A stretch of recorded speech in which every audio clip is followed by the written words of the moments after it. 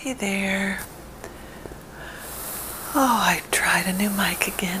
I've bought like four mics, and, um, and over the you know over several years, and I end up having to just go back to this lavalier mic because I just can't make them work. I end up with worse background noise with the more expensive ones, so I'm sure I just need a better camera or something. Here is what I'm going to play with tonight these little miniature paintings. And a friend at Christmas time bought me this cool little art set with these teeny tiny little two inch by two inch canvas boards. And he'll, he does it with me, which makes it even more fun, but we'll put on a Bob Ross episode and then we'll paint these little tiny pictures. And when I'm done, I'll play a little bit with fabric and scratching. But um, we'll put on a Bob Ross. And what's fun about these tiny canvases and using tiny paintbrushes is you can't ever get it to look quite like his. So it takes some of the pressure off if you're not a painter, which neither of us are, but we wanted to play. So anyway, um, this was the first one and um, I didn't get his permission to show his, so I'm not going to show his, but these are the ones that I played with. You probably can't even tell what some of it is, but this is a little tiny cabin and leaves with some different kind of fall leaf colors and water on a little bank, water falling, and a little tiny bit of sky peeking through in the background. So we had a lot of fun with these. We haven't done it for a little while. It's time to get back into it. Anyway, here's a little mountain scene, snowy, snow-capped mountains. And what's fun about, first of all, Bob Ross is just fun to watch. And, you know, some people say he was kind of the first ASMR artist without knowing it, but he would talk so gently to the camera, to his audience, and he would tell you he'd always scroll the colors across the screen at the beginning. And then um, let's see make sure I'm getting that in the screen. And then he would do it in layers. So he'll start with the background and the sky and then he'll paint uh, a color you know next to it. It might be this mountain shape. And then you would put the darker colors you know the closer you get the darker the colors are. So he starts to teach you some little techniques and tricks it's just fun if you're just wanting to play around. So this is something fun you can do with a friend or your children or something. My nails are super short right now, um, but hopefully that won't be distracting. So there you go. And then here's another little one. Little uh, scene. I don't know if you can, let's see, I'll hold that one up close. This was a fun one to do all these little trees. And then uh, the evergreens. He, when he does his evergreens, it's so fun to watch him do his evergreens. He gets this flat brush and he just kind of uh, does this little trick where he just slowly starts to widen it and change the angle as he moves down. Here's a little teeny cabin, and he'll always talk about, you know, little creatures or people that might be inside of the painting so you get drawn in and feel like you're part of that world. But there you go, and, and you can see there's a little, um, let's see, a little path here leading up to the door of the cabin, and then a little bit of fence posts. I don't know if you can make that out in this painting. And then some fence posts in the foreground, just a few. It's fun to see if he has a little more time, you know, he'll throw in a few more details. And um, we're always to the point where with these little canvases, by the time he gets to his last details, we've pretty much filled up the canvas and there's no room left, but it's great fun. There's just one more here I think that I've done. This one's a little snow cabin with some evergreens and little snow on the boughs of the trees and kind of a wintry sky and mountains in the background. And of course, when you look at his, there's all this stuff in the foreground that's missing from this, but he's so amazing to watch. It's just, just fun. One of the subscribers told me that he likes to watch Bob Ross. I think he said every day with his one of his children. They just watch it. They don't even paint, they just watch an episode. And I think that's so cool. He is comforting. He has some squirrels on. These little, I can't remember what kind of squirrels, but they're, um, he kind of nurses them back to health and he'll just have them on a show and show them drinking from a little bottle. It's just fun. So those are my little miniature paintings. I think it would be fun to, um, I'll just scratch on that a little bit. I think it'd be fun to frame them and put them in a little dollhouse.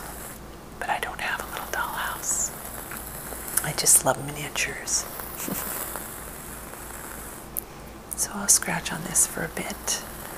And then I brought another pillow that I can maybe play with a bit and then we'll call it a night. This will be a short one. I'm um,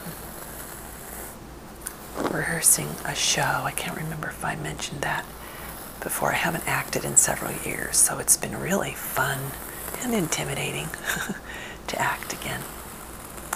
And um, and memorization is so much harder for me as I'm getting older. I just have a hard time. The first scene that I have is like two-page monologue, and oh, I'm exhausted by the end of it, and the show's just begun. And uh, anyway, but it's great fun, and it's a character that um, I haven't. Uh, well, it's it's a um, personality type that's very different that I haven't been able to play for a long time. It seems like I was just getting these bitter, angry women for years, and um, this character is a lot more quirky and fun, and um, and it's just kind of a oh what's the word an optimist against all odds but yeah i've had trouble with my memory with that opening scene or it's it's my character's opening scene it's not the opening scene of the show all right we'll see if the scratching will work i when i tried it with the mic it sounded like there was a an earthquake going on I tried changing levels. I probably spent about an hour and a half on it and never did figure it out. So I'm back to my little cheap lavalier mic.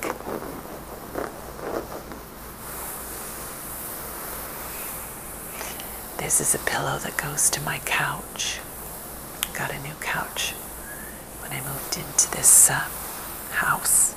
And um, I love the couch. It's kind of that mid-century modern look and I was going to go with a more neutral taupe color, but I decided against it.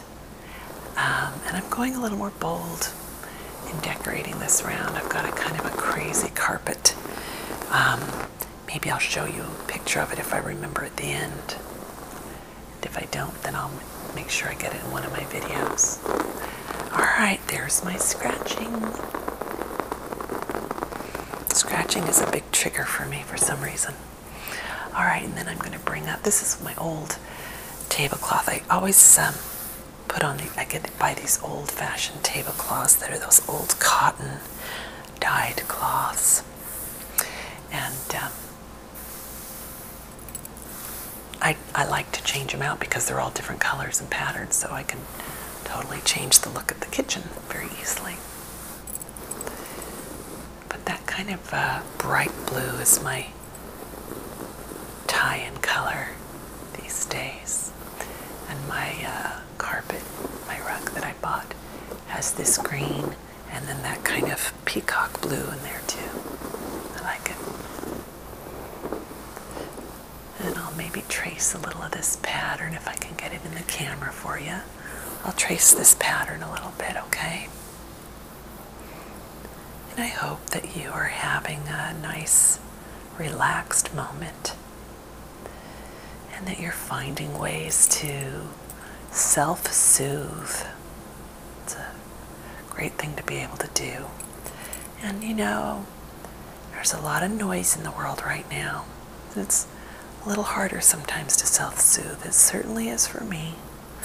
I am. Um, there are some nights where ASMR is the only thing to get me through, and then there's other nights where it doesn't get me there that I'm still feeling a little anxious. And uh, sometimes meditation's easier than others. I'm a little out of frame, aren't I? I'll slow it down a little bit.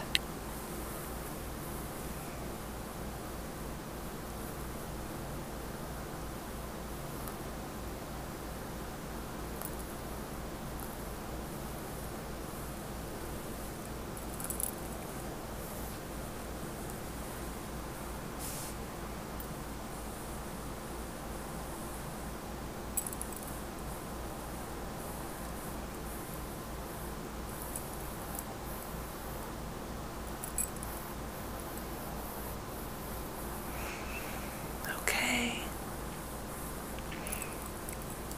This is a short one. I'll just trace a little bit more and then I'll say good night.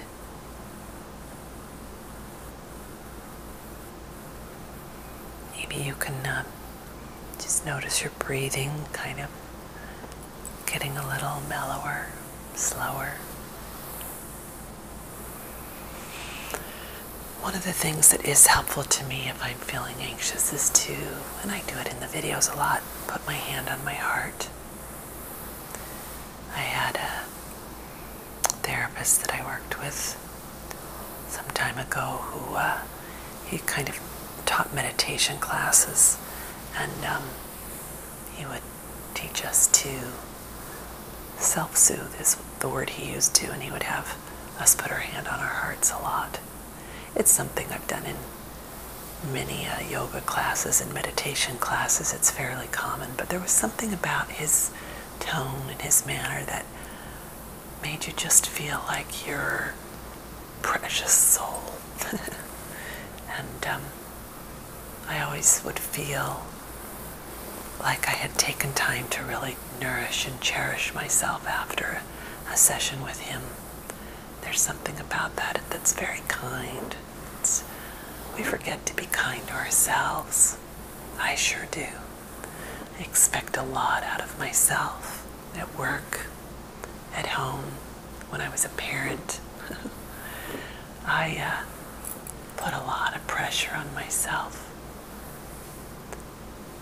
And sometimes we just have to remind ourselves that we're doing the very best we know how. And that that might mean that uh, we're not able to pay as much attention in one area as we are to another. And that includes ourselves, you know. It's so important to take care of yourself, and we all know that. But at least my truth is that there are times when I'm not going to be able to do that for a little bit. I have to put my focus somewhere else. And then there might be a weekend where I let my friends, you know, kind of take the back seat while I take care of myself and say, hey, I'm not going to be able to hang out and do all of these wonderfully fun things. And I know how much you might like me to hang with you, but I've got to take care of myself this weekend. And then there's other weekends where you've got to fill up that escrow with people. because perhaps you've been working so much and you haven't been able to give time to them. So life is is a tricky balance, isn't it? I'm kind of just needing this pillow, aren't I? All right. It was nice to visit with you. It's been a little while, and it probably will be a little longer before I post again just because we're going into a tech week for the show next week, and then the show will run. So I'll be a little busy, but I'll come back here and check in with you in the future. All right. Have a good night.